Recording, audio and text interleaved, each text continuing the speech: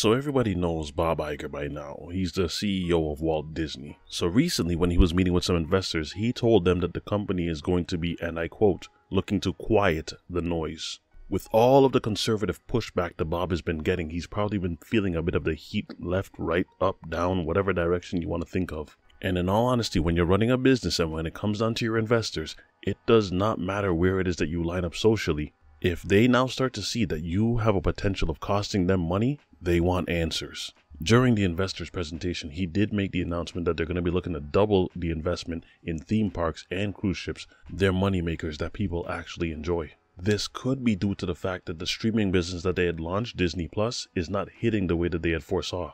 It could also be due to the fact that they keep on recycling the same old movies over and over and over again, where it doesn't seem like they've had an original idea for a long time now. Why um, are you staying? And so they would need to improve the quality of the films and actually bring on writers and directors that have a vision. And I don't know, maybe take a chance on them.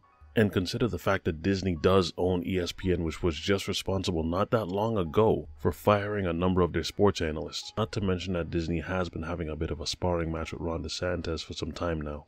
But I don't know, with this election coming up, will that kind of cool Ron off? Because he has other stuff to focus on. But Bob Iger did say that over the next 10 years, they plan on spending about 17 billion in investment at Walt Disney. Why? Because parks are reliable, they're consistent, they're consistent money makers for the company, and consistent money makers for the company is a good thing.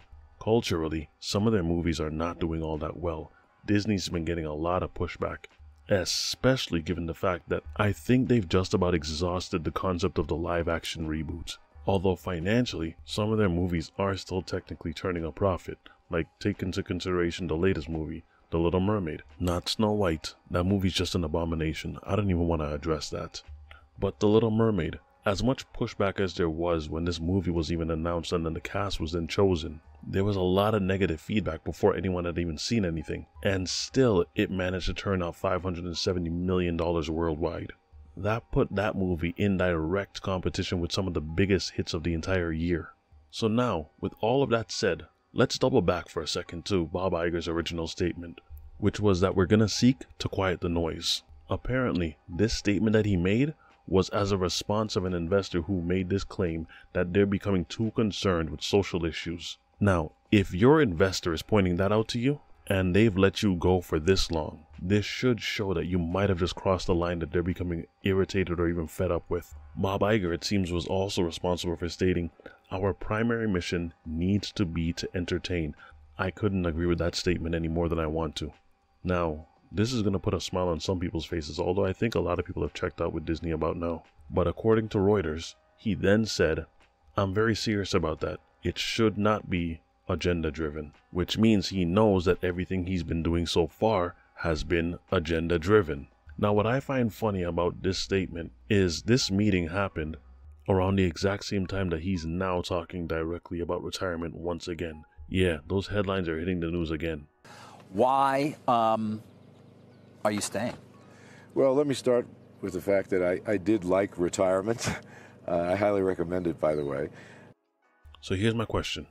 I know there's a lot of people that have been checked out with Disney already. Some fans that have no intention of ever returning. But with this statement, and with the investors now putting in their own statements, and allegedly their own concerns, do you think this could have a positive effect on Disney and how they handle their movies?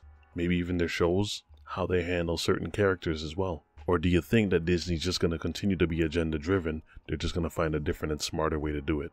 Personally, I have to admit, I haven't seen Ahsoka. I haven't seen The Little Mermaid. I'm not going to be watching Snow White. And from some of their properties that they have upcoming, I gotta level with y'all. I just haven't been interested in a while. I'm not saying I'm completely done. I just don't see anything that's catching my attention like that. So no, I haven't walked off the field just yet. You can call this me just taking a break on the bench. So what do you guys think? Is this good news for you? Is this bad news?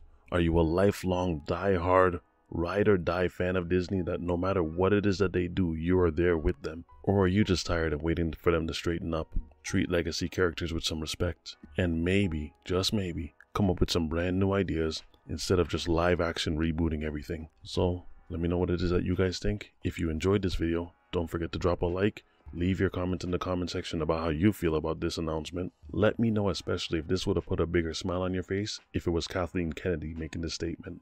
And I will see you guys again for the next one. Be easy, y'all. Why um, are you staying?